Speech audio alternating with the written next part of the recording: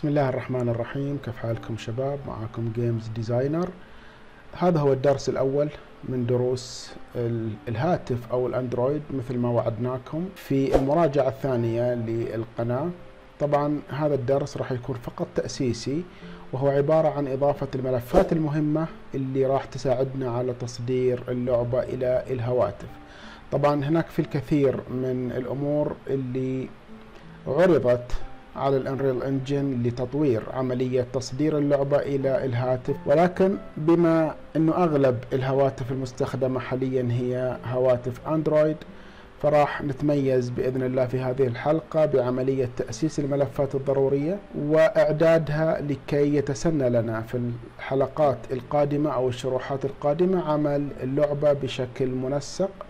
ثم تصديرها من دون أي مشاكل ومن دون أي عقبات. بداية الأمر ندخل على أي إصدار أنت تحب لإنشاء هذه اللعبة لعبة الهاتف.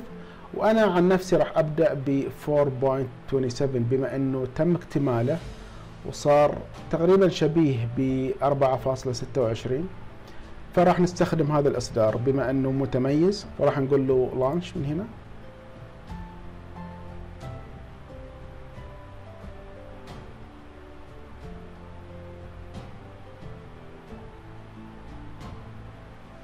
بعد ما تفتح عندنا هذه النافذة نقول له Game ثم نختار Blank ليه Blank لأنه راح نستخدم package جاهز من ال packages اللي يعرضها علينا Epic Games Store نقول له Next هنا عندنا ثلاث أمور لابد نغيرها شوية حتى نحصل على package نظيف. آه ال Blueprint راح نخليها. هذا راح نغيره. طبعا هذا الخاص بالأداء. راح نختار Scalable 3D or 2D تمام؟ وهنا راح نخلي Ray Tracing Disabled أهم نقطة هنا الناس اللي تسأل هل أقدر أحول اللعبة بعد ما أنتهي منها من الحاسب إلى الجوال؟ طبعا ما تقدر لأن Unreal Engine في بداية تأسيس المشروع يخيرك بين اثنين بين الديسكتوب والكونسول يعني حاسب آلي والأجهزة الثانية لل Xbox والسوني أو Mobile و Tablet فأنت تختار في بداية تأسيس المشروع إيش نمط الجهاز اللي راح أنت تعمل عليه لعبتك. طبعا إحنا في لعبة العالم المفتوح بدأنا بال Desktop وال Console. هنا راح نبدأ بالموبايل لأنه هذه اللعبة خاصة بالموبايل. طبعا وبرضو ما نحتاج إلى Starter Content لأنه راح نستخدم مثل ما قلنا package جاهز. فنقول له No Starter Content تمام؟ هذه الأمور المهمة اللي لابد تضعها بالحسبان. ونعطي ال package اسم نسميه مثلا Android Game نقول له Create Project مثل ما تلاحظ أول ما فتح معانا المشروع حيكون المشروع فاضي تقريبا بال Content لا يوجد أي ملف هنا. والموجود عندنا بال View عبارة عن كأنه level جديد. فحتى نحفظ هذا ال level حنقول له Save Current Level تمام حنحفظه بال Content هنا. طبعا راح نستغني عن هذا ال level فيما بعد ولكن حاليا راح نعتمد الحفظ حتى نعمل الإعدادات المطلوبة لتجهيز الملفات الخاصة بال Android. فنسمي هذا مثلا Android Game Level تمام حفظ لنا الملفات هنا. بإمكانك طبعا تضيفها في folder خاص. راح نروح إلى Project Settings إلى ال Maps and Modes طبعا هنا بما إن إحنا وضحنا ال level اللي راح نشتغل عليه بمسمى Android Game Level فراح نحفظ هذا المسمى بنفس ال level فنختار Android Game Level هنا وبرضو Android Game Level هنا. طبعا في حالة إنه أردنا التأكد من الملفات اللي قمنا بتثبيتها هل هي صحيحة أو لا أو تشتغل أو فيها خلل. فنستخدم هذا ال level فقط مبدئيا وإلا في حالة إنه استخدمنا ال package الجاهز حيكون ال level موجود. بالنسبة لل Default Game Mode راح نعمله مع ال package الجديد فراح نخلي هذه فيما بعد. النقطة المهمة هنا ننزل إلى Platforms الملفات الأساسية ألا وهي ال SDK نخش عليها. حنلاقي عندنا ثلاث ملفات أساسية ألا وهي ملف ال Java JDK ملف ال Android NDK وملف ال Android SDK. هذه الملفات راح نشتغل عليها في هذا الدرس لدرجة إنه ما راح يكون عندنا وقت لتثبيت ال level لذلك راح نخليه في الحلقة القادمة. مهمتنا اليوم فقط وفي هذا الشرح هي تثبيت الملفات الأساسية والتأكد منها هل هي تعمل أو لا. وبداية الملف اللي راح نعتمد تثبيته ألا وهو ال JDK الخاص بال JavaScript. فنخش على ملف ال Java. طبعا هذه الصفحة راح تلاقونها بالوصف أسفل. ونكتب هنا عملية البحث الخاص بالمتصفح 8U77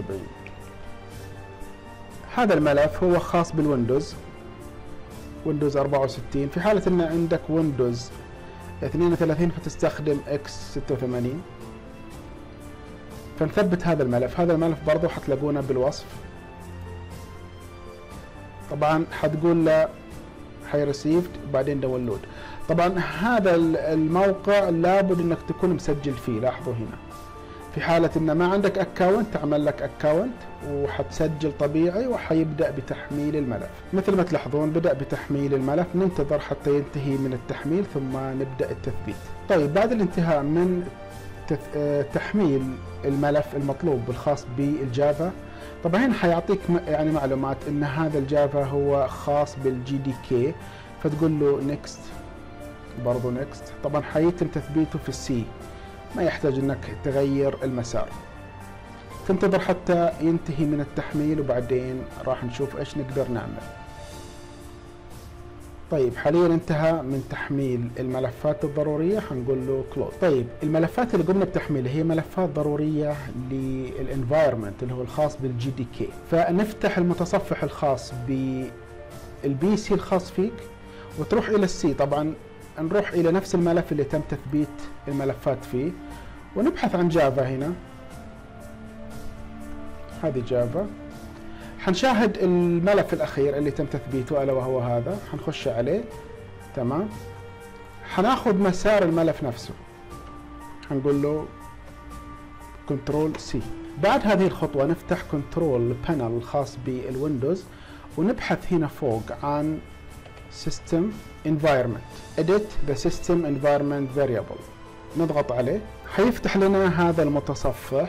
راح نروح تحت إلى environment variables. حنضغط عليه.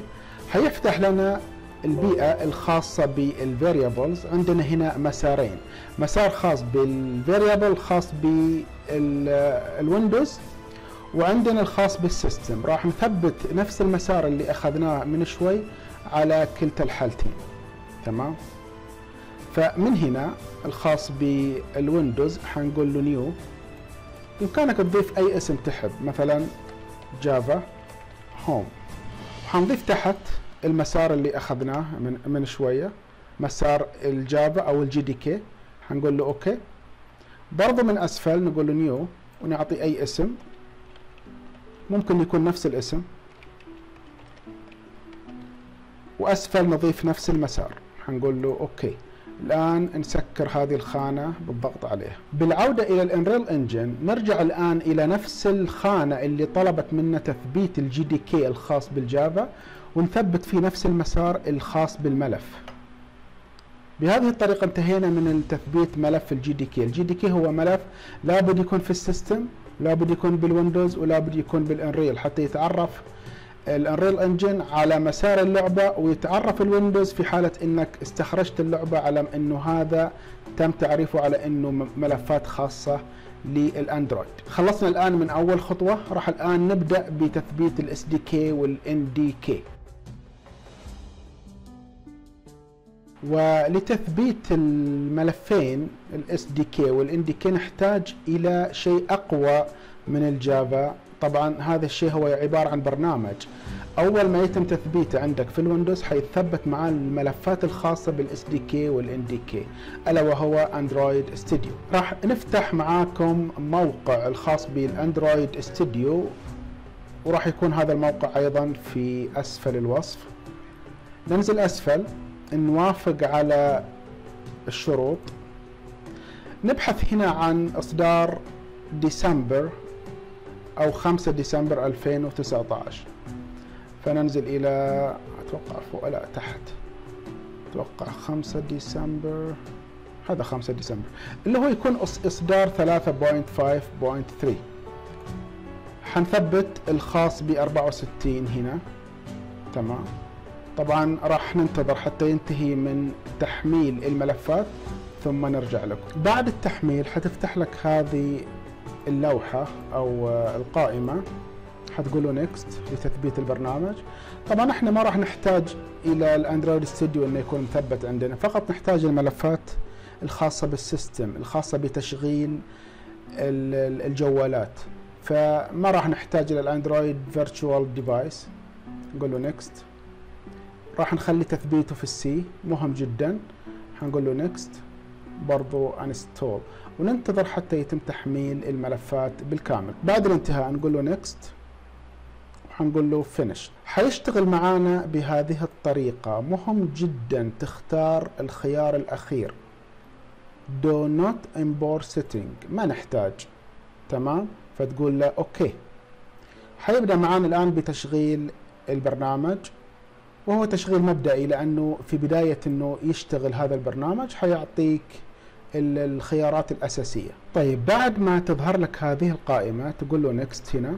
حتختار طبعا custom next هنا تختار أي لون تحب. طبعا في حالة إنك راح تستخدم هذا البرنامج Android Studio وهو على فكرة من البرامج اللي أنا اشتغلت عليها كثير يعني في السابق وجميلة جدا. الآن تطورت بشكل أفضل. فاختار أي لون تحب أسود أو أبيض. نقول له next هنا لاحظ هنا حيثبت لك الملفات الخاصة بال SDK اللي برضو ال Unreal Engine يحتاجها. فأنا ما أبغى إني أثبتها بال C أبغى أثبتها بمكان أنا أعرف موقعه حتى أقدر أوصل له. فخلونا نثبتها بال D مثلا. هنا بال D وراح أخلي ال folder الخاص بها بنفس المسمى كي تمام؟ تمام راح أقول له okay. تم تثبيته هنا. راح أقول له next هنا بإمكانك تختار الحجم المناسب اللي راح يستخدموا هذا البرنامج. بالنسبة لنا ما راح يكون فرق. نقول له next وحنقول له finished وحيبدأ بتحميل الملفات الضرورية الخاصة بال SDK بعد انتهاء التحميل حتقول له finished حيفتح لك هذه اللوحة. طبعا لا تقفلها لأنه مهم جدا نعدل بعض الأمور الأساسية. نروح إلى ال configure ثم إلى Default Project Structure. هنا عندي بعض الأمور أو المسارات اللي المفروض أنها تكون معدلة. مثل ما نلاحظ هذا هو مسار ال SDK اللي أنا أضفته في ال D ولكن مسار ال JDK غير صحيح هنا. لو تلاحظون أن إحنا ثبتنا ال Java وقمنا بتحديد المسار على مسار ال Java. فهذا المسار مستحيل يكون هو مسار ال JDK اللي أنا ثبته. فمن هنا نحدد مسار ال Java اللي قمنا بتثبيته في بداية المشروع. من ال C نروح إلى Program Files ثم إلى Java. هذه Java. وهذا ال JDK فنحدد ال JDK ونقول له OK خلاص تم تثبيت أو تحديد المسار الأساسي لل JDK حقول له Apply ثم OK. راح نروح الآن إلى folder D اللي قمنا بإضافة ملف ال SDK ننزل إلى أسفل. هذا هو ملف ال SDK اللي قمنا بتحميله ب folder ال D تمام؟ راح أروح إلى tools وراح أمسك ملف package XML امتداد XML هذا. راح أفتحه بأي ملف خاص بفتح الملفات. خلونا مثلا نفتحه بملف ال Notepad ممكن.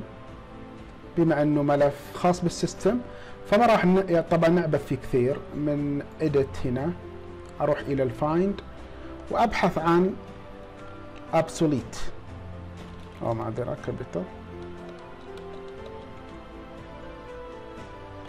obsolete تمام. أول ما يظهر لك ملف أو كلمة obsolete حتلاقي بمقابلها كلمة true. صح. نعكس هذا ال true إلى ال false أحدد ال true فقط. أكتب false تمام. تأكد إن كلمة false تكون صحيحة. ومن File أقول له Save حقفل. خلاص. تم حفظ ال package بالنمط الجديد اللي أنا قمت بتعديله. خلاص حنقفل هذه الصفحة ما راح نحتاجها. بالرجوع إلى الصفحة اللي ظهرت لنا الخاصة بال Android Studio نروح إلى ال Configure ثم إلى ال SDK Manager تمام إحنا طبعا عدلنا على ملف ال SDK اللي هو الخاص بملف ال package. فننزل أسفل. آه 31 هذا ما راح نحتاجه. راح نحتاج Android API 30 هذه أول نقطة. نروح إلى ال SDK Tools تمام؟ ونحدد أو نضيف إشارة عند Show Package Details حتظهر لنا ملفات مخفية هنا. ننزل أسفل. لو تلاحظ هو هنا محدد 3100 وإحنا ما راح نحتاجه. إحنا حددنا في الأساس 3003 فنحدد هذا. طبعا هذا خاص ب SDK بالنسبة لل NDK راح نستخدم package 21 3 65 28 147 فنحدد هذا الملف. حنقول الآن Apply طبعا حيكون هنا محدد الملفات وال packageات اللي أنت تحتاجها واللي أنت حددتها. حتقول له OK. حتقول له Accept Next حيبدأ الآن بتثبيت الملفات الضرورية. وهنا برضه تحتاج إلى الصبر وإلى الانتظار حتى ينتهي من تحميل الملفات بالكامل. طيب تم الانتهاء مثل ما تلاحظون من تثبيت ال SDK وال NDK اللي قمنا بتحديدهم.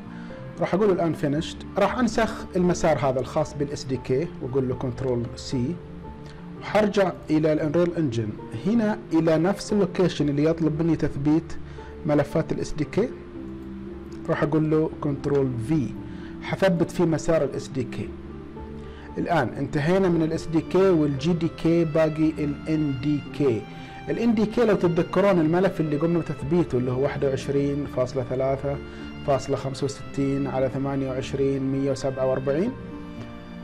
هو حيكون داخل ملف ال SDK فنفتح المتصفح الخاص بال Windows.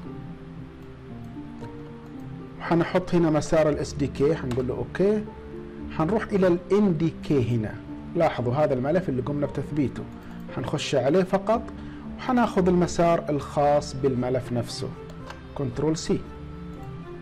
حنجي عند ال NDK وحنقول له Ctrl V بهذه الطريقة انتهينا من تثبيت أغلب الملفات تقريبا كل الملفات اللي نحتاجها.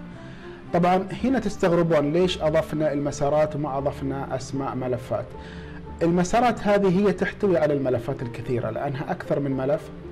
فما أقدر أحتويها في خانة واحدة فهنا أنت تضيف فقط المسار والأنريل إنجن يقوم بالتعديل وأخذ الملف المناسب. بعد الانتهاء من تثبيت المسارات نروح إلى ال Android اللي يكون أسفل Platforms. هنا حنلاقي إنه ال project is not configured for the Android platform وإحنا قمنا بتثبيت الملفات الضرورية فنضغط على هذا الزر للموافقة على إنه الملفات تم تثبيتها. مثل ما تلاحظ حيعطيك إياها باللون الأخضر معناها تمت الموافقة. حننزل أسفل عند Android package name هنا برضو مهم جدا. بداية الأمر حتضيف dot com. نقطة بعدين اسمك أو اسم الشركة. نقطة بعدين اسم المشروع. فحنقول له من هنا مثلا نحذف هذه. أنا اسمي جيمز ديزاينر فأقول له جيم جيمز ديزاينر واسم المشروع هنا اللي أضفناه. Android game level برضو عندنا هنا target SDK version إحنا حددنا ملف 30 فنغير من 28 إلى 30 حننزل أسفل هنا. حنحدد ملف package game data inside اي بي كي طبعا اي بي كي هو المسار اللي يكون فيه الملف بعد تصديره. فنحدد هذا الخيار. وبرضو نحدد خيار for small OBB file. طبعا هو هذا خاص بضغط الملفات الكبيرة جدا يعني. بس أهم حاجة إنها لا تكون أكثر من 2 جيجا فنحدد هذا الخيار برضو. ننزل أسفل برضو عند App Bundles. ونحدد خيار Generate Bundles AAB ثم ننزل أسفل ونحدد Support ARM 64 طبعا هذه لملفات يقبلها النظام ويضغطها مع نفس الملف الخاص بال APK الآن ننزل أسفل برضو تقريبا هنا. وحنفعل هذا الخيار فقط خاص بالجوجل بلاي. في حالة إنك حبيت ترفع هذا الملف حيقبلها نظام جوجل بلاي بناء على الملفات المرفقة مع البرنامج. فنضغط على هذا الزر. حيتفاعل معك. الآن عندنا هنا أمور طبعا ثانوية ما راح أتكلم عنها. يعني بإمكانك مثلا تغير الآيكونز هنا تضيف مثلا الآيكون أو الشعار الخاص فيك. أه هذه أمور جدا ثانوية وليست مهمة في تصميم اللعبة. الشيء المهم عندي ألا وهو ال keystore. ال keystore هذا هو ملف يقوم البرنامج بإضافته وبناء اللعبة على أساسه. طبعا هو غير مهم في مجالات كثيرة ولكن في حالة أنك راح تنشر اللعبة على مسارات أخرى مثل جوجل بلاي فأنت تحتاج إلى تفعيل ال keystore حتى يتم قبول اللعبة عندهم. فبداية الأمر نروح إلى ملف الجافا اللي قمنا بتثبيته. نخش على ال C وإلى program file ثم إلى الجافا. ثم إلى الملف الأخير اللي قمنا بتثبيته ثم إلى ملف bin راح نقوم بنسخ هذا المسار. ثم نفتح برنامج الأوامر أو بما يسمى ال DOS الخاص بال commands الخاص بالويندوز. ونضيف هنا cd cd هو خاص لدخول ال folder. أي folder؟ تحب أنك تخشه عن طريق آه، متصفح الأوامر هذا القديم أو ال DOS حتضغط على سي دي ثم نضيف المسار اللي قمنا بنسخه. نقول له enter. حيدخلنا على المسار. الآن تقومون بنسخ هذا السطر بالكامل. أنا طبعا ريحتكم من كتابته فتنسخ هذا حتلاقيه إن شاء الله بالمتصفح وتقول له control C. ترجع إلى قائمة الأوامر وتقول له control V وحتضغط enter. حيقول لك هنا enter keystore password. فهنا نضيف مثلا أي password تشوفه مناسب. ها هنا حيقول لك too short فالمفروض يكون ستة وأكثر. طيب نضيف مثلا ستة. هنا حيقول لك أعد كتابة ال password هنا حيقول لك ضيف اسمك الأول والأخير. مثلا ممكن أضيف جيمز ديزاينر هنا حيقول لك اضف الشركة في حالة إنك كان عندك شركة. أنا حقول له جيمز GD مثلا. برضه راح أقول له GD. بإمكانك هنا تضيف المدينة اللي أنت تسكن فيها. مثلا راح أقول له رياض. برضه راح أقول له رياض.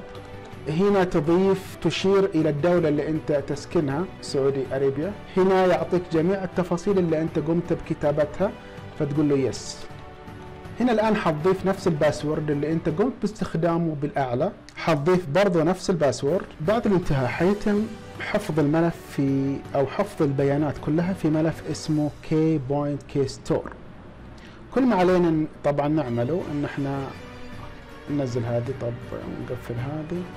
نرجع إلى نفس الملف اللي هو ال BIN ونبحث عن keystore حنلاقيه بهذه الطريقة هنا. نعمل قص لهذا الملف بالكامل. كات لأنه ما راح يكون موقعه هنا.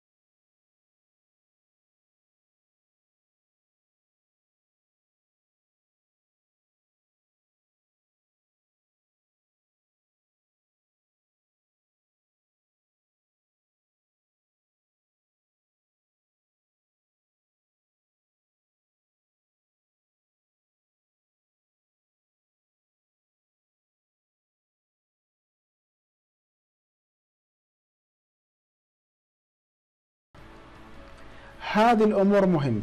طبعا هذه تعملها مرة واحدة لكل مشروع. مهم جدا تعملها لكل مشروع.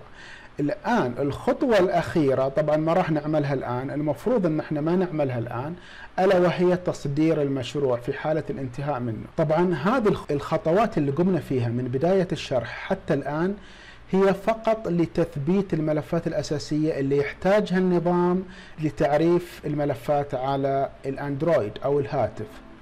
الخطوة الأخيرة في حالة أنك خلصت من اللعبة نهائيا المفروض أني ما أعملها لكم الآن ولكن حتى نجرب. هل النظام يعمل معنا هل الملفات فيها خلل؟ هل كل ما قمنا فيه عبارة عن تسلية؟ نجرب فقط ليس إلا يعني. بإمكاننا نروح إلى هنا file وإلى package project ونروح إلى الأندرويد. طبعا انت هنا حيعطيك ثلاث أنواع من الأندرويد. بإمكانك تختار أي نوع أو تختار ال multi كل واحد. طبعا يفضل تختار واحد حتى تتأكد فقط.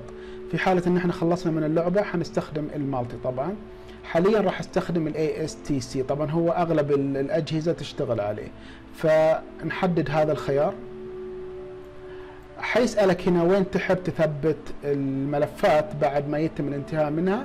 راح أثبتها بنفس المشروع. راح أعمل folder جديد.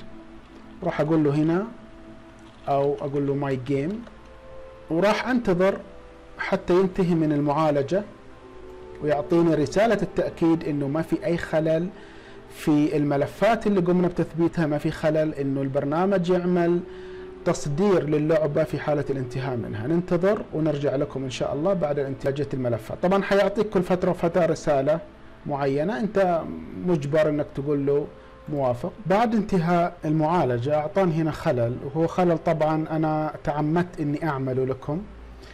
هو المسمى اللي قمنا بتسميته تمام؟ آه إحنا وضعنا كوم dot وبعدين اسمك وبعدين dot وبعدين اسم اللعبة. أنا تعمدت إني أخلي القوسين حتى يعطيني خلل وأشوف إن هذا الخلل هو الوحيد الموجود. فنرجع نعدل هذا الخلل فقط من Project Setting ننزل إلى Platforms إلى الأندرويد. هنا. لاحظوا المفروض الأقواس هذه ما تكون موجودة. فنشيل الأقواس ونخليها Android Game من دون level بمعنى فقط النقاط أو الخط الأسفل يعني com dot your name dot اسم لعبتك. بهذه الطريقة. راح أقفل الآن هذه وأرجع أعمل له package من جديد وأشوف النتيجة. بنفس الموقع راح نرجع لكم بعد انتهاء المعالجة. الآن مثل ما تلاحظون أعطاك كلمة success success معناها خلاص انتهى من تصدير اللعبة فنقفل هذه خلاص. حنرجع الآن إلى ملف اللعبة أو ملف المشروع. حنلاحظ إن ملف اللعبة موجود باسم APK تمام؟ Android Game Android shipping universal APK طبعا آه للأسف ملفات ال APK غير معرفة بجهازي ولكن بإمكانك نقل هذا الملف إلى أي جهاز اندرويد هاتف وحيشتغل معك هذا الملف. طبعا حاليا هو لا يوجد شيء مثل ما نلاحظ شيء فاضي لا يوجد حتى الكائن غير موجود. تمام؟ فهو فقط حبينا نوريكم إنه عملية تثبيت الملفات الأساسية لل كي وال JDK وبرضه لل SDK صحيحة وما فيها أي مشكلة. الآن بإمكاننا نبدأ أي مشروع نحب في هذا ال project. اللي قمنا بتثبيت الملفات فيه. طبعا اللي يرجع ويسألني منين أخذت المصدر منين أخذت المعلومات هذه كل المعلومات حتلاقونها في موقع ال Unreal Engine وأيضا في منتدى ال Unreal Engine. راح أضيف لكم هذه الصفحة في أسفل الوصف بإمكانكم الرجوع لها. وأيضا بإمكانكم الاستفادة من المعلومات الكثيرة الموجودة هنا. أغلبها معلومات إعدادية كيفية تثبيت الملفات الأساسية لإنشاء اللعبة. إن شاء الله في الدرس القادم راح نبدأ معاكم اختيار ال package المناسب وأتمنى يكون ال package هذا عندكم لأن أغلب ال package ات نزلت مجانا ثم تم إعادتها إلى مالي. فأنا على طول لما ينزل package مجانا أحاول أني أثبته عندي أختاره عندي أقوم بتحميله حتى أستفيد منه مستقبلا. فأتمنى أنكم تكونون عملتم نفس الشيء. هذا كل شيء لهذا اليوم. أشوفكم على خير إن شاء الله في الدرس القادم. معاكم Games Designer مع السلامة.